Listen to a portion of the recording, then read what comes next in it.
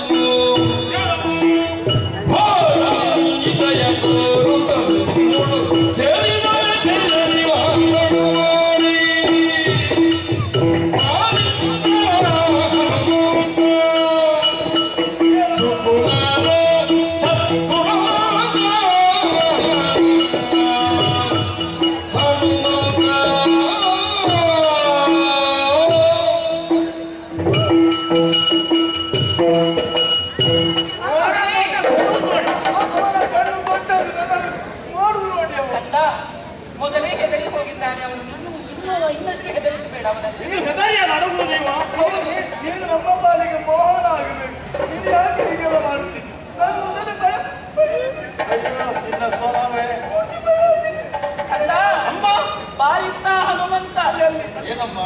ಮಗನಿ ಓ! ಹೀಗೆ ಕರೆಯುವುದಕ್ಕೆ ಬಲವಾದಂತಹ ಒಂದು ಕಾರಣ ಇದೆ. ಏನು ತಾಯೇ? ಮಾತೆಯ ದುಗುಡವನ್ನ ಕಂಡಂತಹ ಕಾಲಕ್ಕೆ ಮಗನಾದಂತಹ ನೀನು ಏನಾಯ್ತು ತಾಯಿ ಎನ್ನುವ ಹಾಗೆ ಕೇಳುವುದಕ್ಕೆ ಮುಂದಾಗುತ್ತಾ ಇದ್ದೀನಿ ಹೌದಮ್ಮ. ಬಳಿಯಲ್ಲಿರುವವನನ್ನ ಕಂಡಂತಹ ಕಾಲಕ್ಕೆ. ನನ್ನ ತಾಯಿಗೆ ಸಂಕಷ್ಟ ಬರುವುದಕ್ಕೆ ಈತನೇ ಕಾರಣ ಎನ್ನುವ ಹಾಗೆ.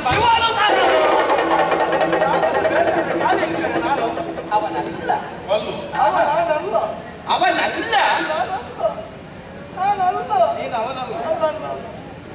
ಅವನಲ್ಲ. ಮಗನೇ ಅಮ್ಮ ಅವನು ಬಂದು ಹೇಳಿದಂತಹ ವಿಚಾರವನ್ನ ಕೇಳುವಾಗ ನಾನು ಒಮ್ಮೆಲೆ ತಲ್ಲಣಗೊಂಡವಳು ಕಂದ. ಯಾಕಮ್ಮ? ಅವನು ಯಾರು ಗೊತ್ತೇ? ಯಾರು ಹಿಂದೂ ದೇಶದ ಅರಸನಂತೆ.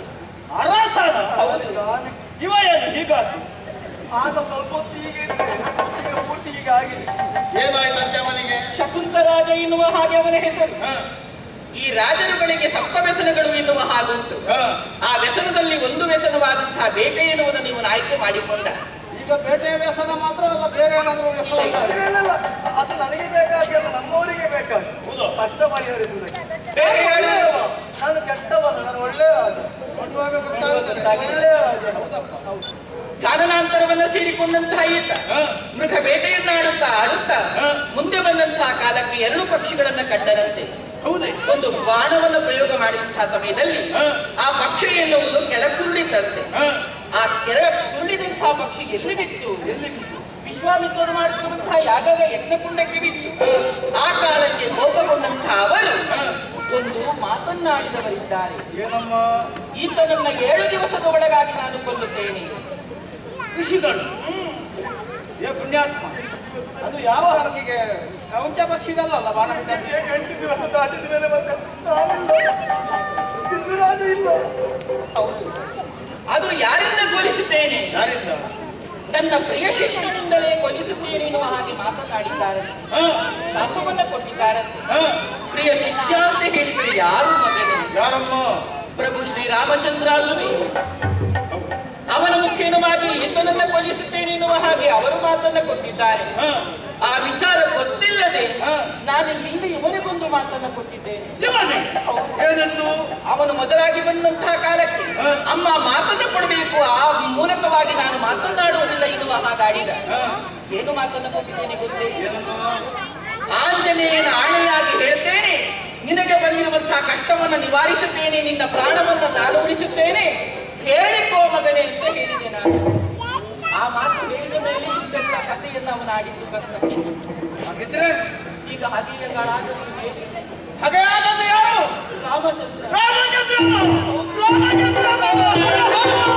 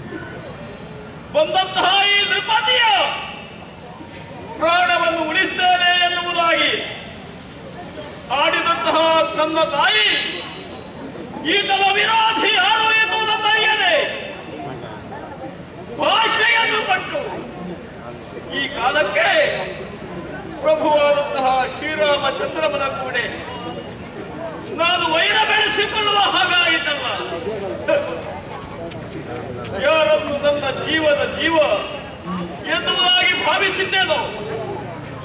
ಪ್ರಪಂಚದಲ್ಲಿ ಬೇರೆ ಏನೂ ಇಲ್ಲ. ಸರ್ವಸ್ವವು ಶ್ರೀರಾಮಚಂದ್ರೊಬ್ಬನೇ ಎನ್ನುವುದಾಗಿ ಭಾವಿಸಿದ್ದೇನೆ. ಅಂತಹ ಪ್ರಭುವಿನಲ್ಲಿ ವಿನಾಕಾರಣ ವೈರವನ್ನು ಕಟ್ಟಿಕೊಳ್ಳುವ ಹಾಗಾಯಿತಲ್ಲ. ಕೊಲ್ಲುವಲ್ಲ. ಅಲ್ಲ ಕಾಯುವ ಶಕ್ತಿ ಸಂಪನ್ನನಾದಂತಹ ಆ ಜಗದಾಧಿದೈವ ಜಗದಾಧಿದೈವ ಅವನ ಕೂಡೆ ವೈರವನ್ನು ಬೆಳೆಸಿಕೊಂಡು ನಾನು ಹೇಗೆ ಹೇಗೆ ಮಾಡಲಿ ಮುಂದೇನು ಮಾಡಲಿ?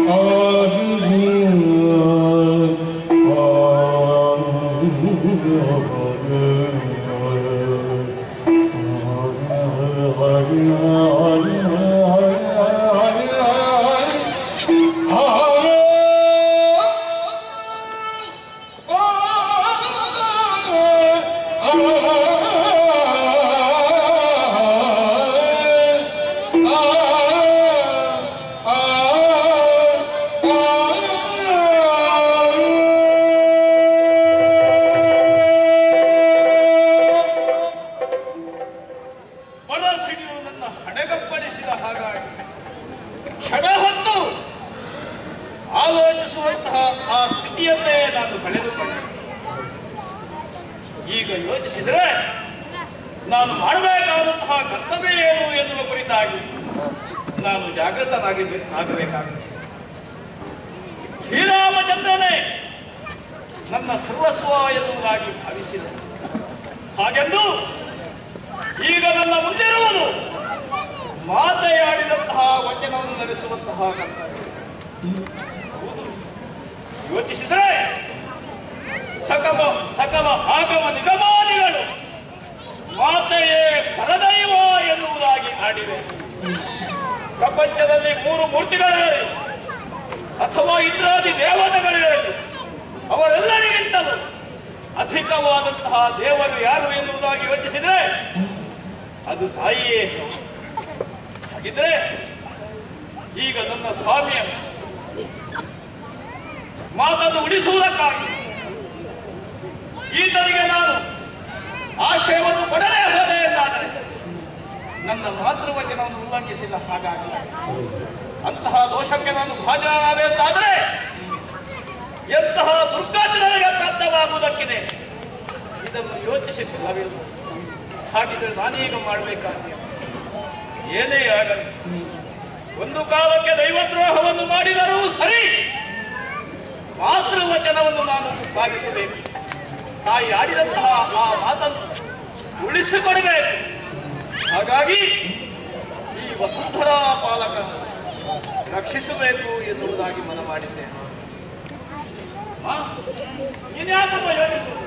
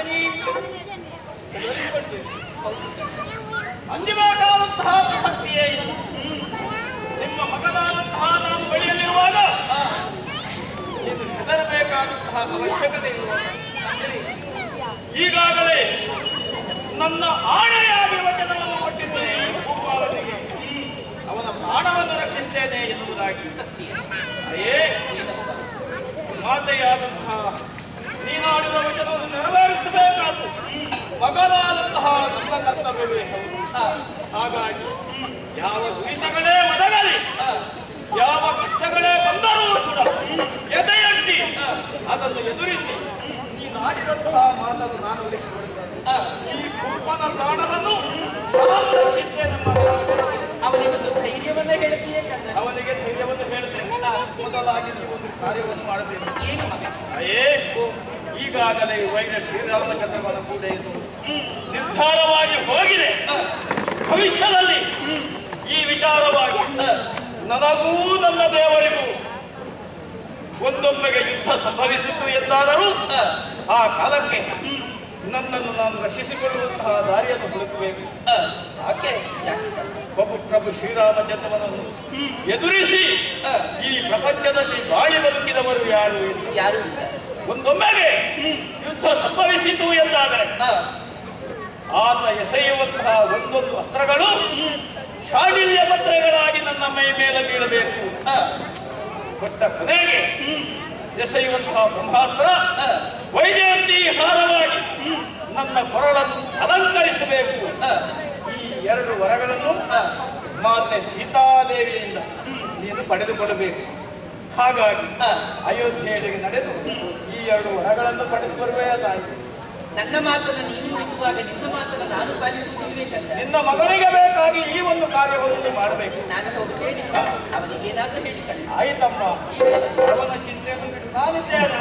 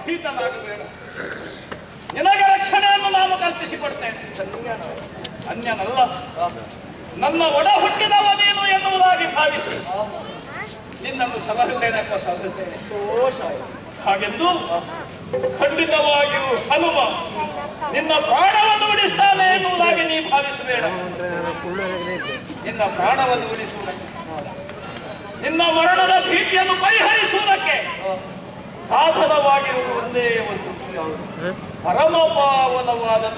ಕಾರಕ ಮಂತ್ರ. ಅದೇ ರಾಮ ಎನ್ನುವಂತಹ ಎರಡು ಅಕ್ಷರ.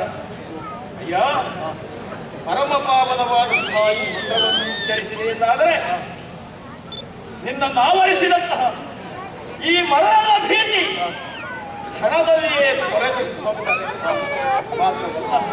ಆ ನಾಮದ ಮಹಿಮೆಯನ್ನು ಏನೆಂದು ಎಂದು ನನಗೆ ಅರ್ಥವಾಗುತ್ತಾರೆ ಒಂದೊಮ್ಮೆಗೆ ವ್ಯಾಧನಾಗಿ ನಿಕೃಷ್ಟ ಜೀವನ ನಡೆಸುತ್ತಾ ಇದ್ದಂತಹ ಒಬ್ಬ ಆತನ ಬದುಕನ್ನು ತಿದ್ದಿ ಆತ ಪರಮ ಯೋಗೀಶ್ವರನಾಗಿ, ಕವೀಶ್ವರನಾಗಿ ಪ್ರಪಂಚ ಮುಖದಲ್ಲಿ ಕಾಣಿಸಿಕೊಳ್ಳುವುದಕ್ಕೆ ಕಾರಣವಾದಂತಹ ಮಂತ್ರ.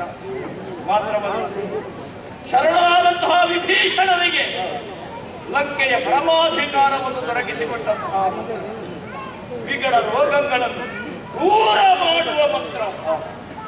ಈ ಬದುಕಿನಲ್ಲಿ ಮಾಡಿದಂತಹ ಯಾವ ಪಾತಕಗಳಿವೆಯೋ ಅವೆಲ್ಲವೂ ತೊಳೆದು ಹೋಗಬೇಕಿದ್ರೆ ಆ ನಾರಕ ಮಂತ್ರವನ್ನು ಜಪಿಸಿದರೆ ಸಾಕು. ಅದರಿಂದ ಮಾಡಿದಂತಹ ಪಾಪವೆಲ್ಲವೂ ಕಳೆದು ಹೋಗುತ್ತದೆ ಕಳೆದು ಹೋಗುತ್ತದೆ. ಯಾ ಪರಮ ಪಾವನವಾದಂತಹ ರಾಮನಾಮವನ್ನು. ಆ ಮುಖೇನವಾಗಿ ನಿನಗೆ ಬಂದೊದಗಿದಂತಹ ಈ ವಿಪತ್ತು ಏನಿದೆ? ಅದರಿಂದ ದೂರವಾಗುವುದಕ್ಕೆ ನೀನೇ ಚಿಂತನೆ ನಡೆಸುವುದಕ್ಕೆ ಅಥವಾ ದಾರಿಯನ್ನು ಹುಡುಕುವುದಕ್ಕೆ ಹೇತುವಾಗುತ್ತದೆ ಆದರೆ ಓ. ನಾನು ನಾನಾಗಿ ಇಲ್ಲಿಗೆ ಬಂದದ್ದು ನನಗೊಂದು ಬೇಸರ ಆಗುತ್ತಾ? ಏನಪ್ಪ? ದೇವ ಭಕ್ತರ ಮಧ್ಯದಲ್ಲಿ? ಜಗಳವನ್ನು ಗಂಟಿಕ್ಕುವುದಕ್ಕೆ ನಾನೊಬ್ಬ ಹೇತುವಾದನಲ್ಲ ಎನ್ನುವ ಹಾಗೆ? ಮನಸ್ಸು ದುಃಖಪಡುತ್ತಾ ಉಂಟು. ಹ? ಆದ್ರೆ ಒಂದು ಸತ್ಯವನ್ನು ನಮ್ಮ. ಏನಪ್ಪ ಹೀಗೊಂದು ಆಯಿತು ಎನ್ನುವ ಹಾಗೆ ಗಗನವಾಣಿಯನ್ನು ಕೇಳಿ ಈ ಪ್ರಾಣವೇ ಬೇಡ ಎನ್ನುವ ಕಾರಣದಿಂದ? ಅನ್ನ ನೀರನ್ನು ಬಿಟ್ಟು. ಸಾಯುವುದಕ್ಕೆ ನಾನು ಸಿದ್ಧನಾದವ ಕಾನನ ಗರ್ಭದಲ್ಲಿ? ಯಾಕೆ ಯಾಕೆ ಸಾಯಬೇಕಿದ್ದವ ರಾಮನ ಬಾಣದಿಂದ ದುಷ್ಟನಾಗಿರಬೇಕೇ ಹೊರತು ಹ್ಮ್. ರಾಮ ಧರ್ಮಾತ್ಮರನ್ನು ಕೊಂದದ್ದುಂಟ ಇಲ್ಲವಲ್ಲ. ವಾಲಿ ವಾಲಿಯಂತವರನ್ನು ಕೊಂದು? ಸುಗ್ರೀವನಂತವರನ್ನು ರಕ್ಷಿಸಲಿದ್ದು ಹ್ಮ್. ಹಾಗಾದ್ರೆ ನಾನು ರಾವಣ ಅಲ್ಲ ನಾನು ಧರ್ಮಾತ್ಮನಿದ್ದೇನೆ? ಎನ್ನುವ ಹೊರಗೊಂದಿದ್ದು? ನಾರದರ ಆಗಮನ ಆಯಿತು ಈ ದಾರಿಯನ್ನು ತೋರಿಸಿದರು ಅವರು ಹೇಳಿದ ಹಾಗೆ ನಡೆದು. ಅದಿ ಅಯ್ಯ ನೀನು ಉದ್ದೇಶಪೂರ್ವಕವಾಗಿ ತಪ್ಪನ್ನ ಸಗಿದ್ದಲ್ಲ ಪ್ರಮಾದವಾಗಿ. ಇಂತಹ ಘಟನೆ ನಡೆದು ಹೋದದ್ದರಲ್ಲಿ. ನಿನ್ನ ತಪ್ಪೇನೂ ಇಲ್ಲ ಹಾಗಾಗಿ ನೀನು ದುಃಖಿಸಬೇಕಾದಂತಹ ಅಗತ್ಯ ಇಲ್ಲ. ರಾಮ ಭಕ್ತನಾದಂತ ಆಂಜನೇಯನ ಬಾಯಿಂದ ಹ? ರಾಮ ತಾರಕ ಮಂತ್ರೋಪದೇಶ ಅಯ್ಯ ಒಳಗಿದ್ದು ನಿನ್ನನ್ನು ರಕ್ಷಿಸುವಂತಹ ಸರ್ವಾಭಾರವು ನನ್ನ ಮೇಲೆ ರಾಮ ರಾಮ.